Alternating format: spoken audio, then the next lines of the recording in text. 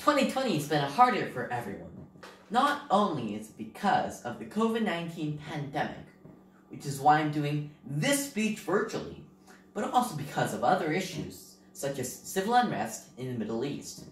Even now, the world started off the new year on the wrong foot due to the riots in Washington, D.C., and the new strain of coronavirus. Even in a time of dreaded despair and dreary desolation, it is important to stay positive and optimistic about the future. That's why the thing I'm most excited for in the year 2021 is the future of artificial intelligence. Hi, my name is Billy Park, and I'm a grade 8 student at St. Thomas Aquinas Regional Secondary School. About a month ago, I saw a YouTube video made by Boston Dynamics, a company which specializes in building robots. I'm sure some of you guys have seen it too, but it's a video of robots dancing to a song. While others might watch this and laugh, my reaction was quite different.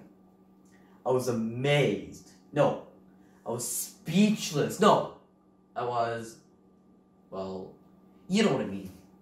I was just awestruck. The fact that robots can now do something as sophisticated as dancing was just astounding. While others might find this kind of creepy, I find this inspiring instead. After watching this video, I thought to myself, hmm, what will robotics look like this year? What about next year? And the year after that? How will AI play their part in our society? I've had a lifelong obsession with robotics. Ever since I was a little kid, I'd always beg my parents to buy me these DIY build your own robot kits. And also, in 4th and 5th grade, I was part of the school robotics team, and we had a lot of fun. But back then, though, I had a deep understanding of robotics. I was like, you know, do is just drag and drop blocks of code, press a button, and boom, the robot does whatever you want it to do. But no, that's not it.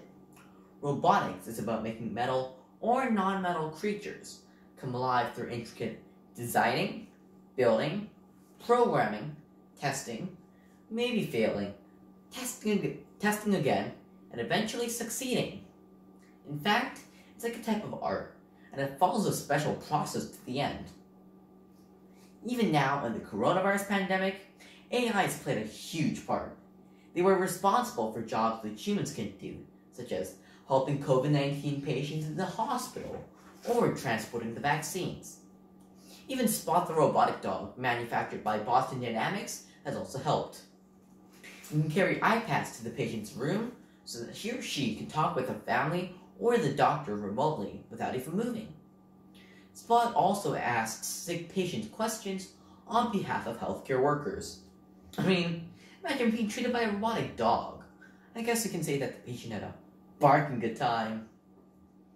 But even outside the COVID 19 pandemic, have seen that AI has affected our world in many different ways. Take the space industry, for example. As you guys all know, Mars Perseverance rover has landed on the red planet very, very recently. And if you think about it, that's an example of AI. Now we can see that AI has not only helped us in our real world, but also helped us in other worlds out there. That's what I find so fascinating. So now, let me ask you a question. What are you excited for in the year 2021?